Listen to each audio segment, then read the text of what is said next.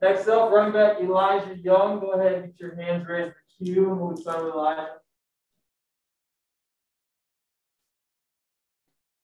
Uh, Ben Arnett, KOMU, go ahead, Ben. Elijah, is kind of a, a, a two-part question. First of all, how have you know with, with Larry gone and everybody kind of moving up the chain a little bit? Um, where did you really focus this spring to to improve with maybe a new role, and also how did Tyler Badie help you in, in, in his new leadership position and, and bring you along? Uh, really, I'm just trying to uh, see. Uh, Larry was a big pass protection guy, so I, that's been my main focus is just uh, getting down the schemes and the pass protection. Uh, Badie was just helping me with you know all the run game stuff like that.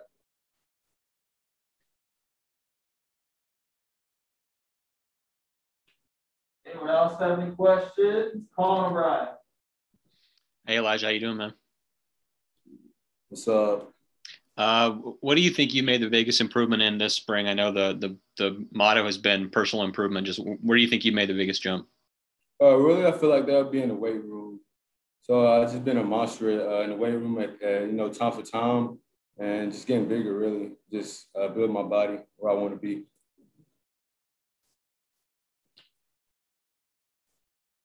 Anything else for Elijah? All right, we're gonna come loose. Thank you.